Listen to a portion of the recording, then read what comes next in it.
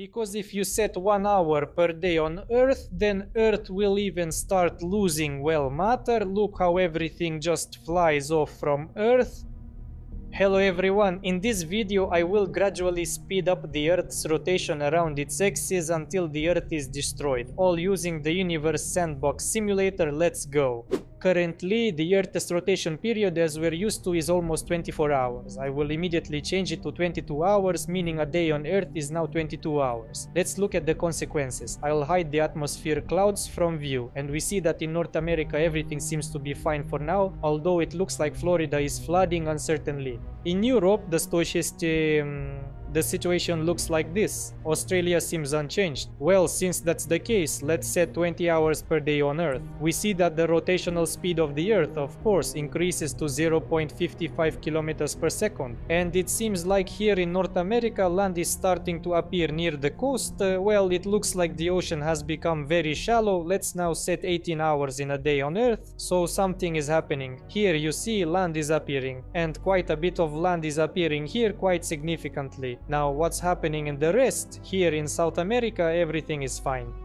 In Africa nothing seems to be happening but here on the Arabian Peninsula there is a little bit some bodies of water appear inside this peninsula and something unclear is happening. Near Italy too it's as if the water might recede and in Europe everything seems frozen. Most likely winter has come and even here in Australia something is starting to happen. Here in the south of Australia water is penetrating inland. Let's see what happens right here if I set 16 hours a day on earth. In our simulator 10 days pass per second and we see that yes the water is it increasingly spreads across Australia. I understand that this will likely happen to other continents as well. Meanwhile in North America the water is receding and here it's as if a stream has appeared. It all looks quite interesting. Now I'm setting 14 hours a day on Earth, the speed is already almost 0.8 kilometers per second. In Australia more and more water is appearing. Regarding the probability of life on Earth it has already decreased and stands at 85%. And now in Europe, near Italy, as I mentioned, yes, as we see, land has appeared here. That is, the sea has receded, and now I'll set it like this, and we'll see how much the land increases here when I make the Earth's rotation period around its axis 12 hours and it has increased a little bit more but for now it is adding up slowly not too fast or significantly. And in South America water is also specifically appearing. Look it is just pouring along this continent northward reaching the Amazon River and now connecting here with the Atlantic Ocean. Wow and what about in Africa in Africa, for now, there are no changes. Well, let's set 10 hours per day on Earth and see what happens here. Oh, now water is starting to flood the Sahara Desert. Look, the Sahara Desert is getting water. Who wanted water in Africa? Well, here is the water for you. And water is also appearing on the west coast of Africa. And now the water is flowing right to the equator. And here the coast has been flooded incredibly.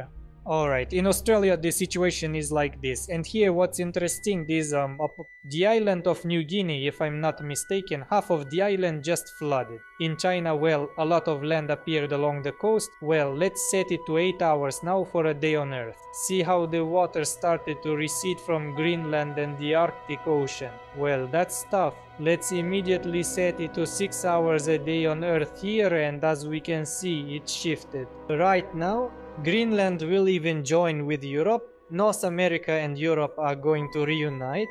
Oh, she look how it flooded here. Oh my, what about Africa? Wow, Africa is unrecognizable. The equator is almost flooded and South America is almost flooded too. In short, water is accumulating at the equator and receding from the poles. Half of Australia is gone. New Zealand has already connected with Antarctica. Incredible. Now we will have 4 hours in a day on Earth. Oh, Oh, shasta just uh, exploding Concasimobby and more here. It was so clear how the water just poured in and here the land is creeping and creeping towards the equator. The same situation in the south. Crazy. Let's now make it 2 hours a day on earth and it's getting even harsher but there are still a few patches of greenery so life hasn't disappeared everywhere just yet.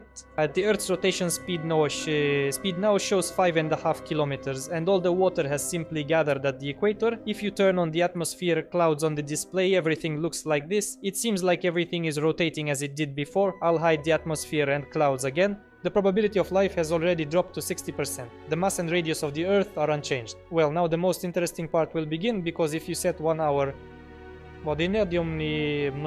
if a day on Earth lasted an hour, Earth would start losing matter. Look at how everything simply flies off from Earth. I'll turn on the atmosphere and cloud display. There's no need to hide them anymore. Earth appears very heated. It instantly heated up to 11,000 degrees Celsius. The temperature still seems to be rising and the mass and radius are starting to decrease for obvious reasons. The Earth's rotation speed is almost 10 kilometers per second and now let's make it 50 minutes. A day on Earth, it's getting more intense. If we take off the space glasses, of course we will be blinded, won't see anything, so we'll put them on and watch comfortably. As we can see, the rotation period stabilizes over time, but we won't let it fully stabilize and we'll set the rotation period to 45 minutes oh, most okay, more fragments are flying off, total chaos is happening and destruction, it's already clear that there is no life on Earth. Now we'll set 40 minutes for a day. Uh, the Earth is, the Earth is still holding on for now. Let's see what speed the Earth can withstand. The rotation was already 11 kilometers per second. Now we will make the day 35 minutes.